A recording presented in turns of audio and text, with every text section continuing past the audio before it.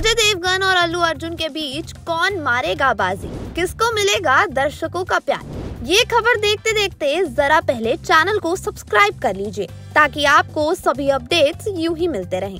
2024 की सबसे बड़ी टक्कर में सिंघम और पुष्पा टू थिएटर्स में एक साथ धूम मचाने के लिए बिल्कुल तैयार हैं। पुष्पा का गाना श्रीवल्ली हो या उसका फ़ेमस डायलॉग पुष्पा फ्लावर समझा है क्या दर्शकों के जहन में बस चुका है इस फ़िल्म के कमाल डायरेक्शन और अल्लू अर्जुन की एक्टिंग की वजह से फ़िल्म ने धमाकेदार कलेक्शन भी किया था और अल्लू अर्जुन को बेस्ट एक्टर का नेशनल अवार्ड भी मिला था।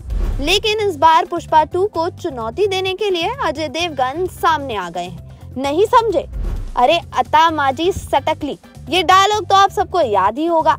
जी हाँ सिंघम। सिंघम थ्री भी सिनेमा घरों में 15 अगस्त 2024 को रिलीज़ होने जा रही है। अब सिंगम के साथ अजय देवगन भी थिएटर्स में धमाल मचाने के लिए बिल्कुल रेडी हैं। सिंगम अगेन में अजय देवगन के साथ करीना कपूर और दीपिका पादुकोण नज़र आने वाली हैं।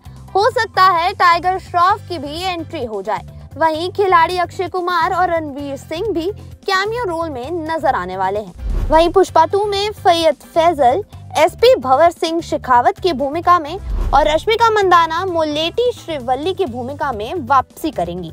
ऐसे में दोनों फ़िल्मों में स्टार कास्ट बहुत ही ज़्यादा ज़बरदस्त है। लेकिन दोनों फ़िल्मों की डेट एक साथ क्लैश हो रही है। अब आपको क्या लगता है कि दोनों में से कौन इस बार 15 अगस्त 2024 को बाजी मारने वाला है?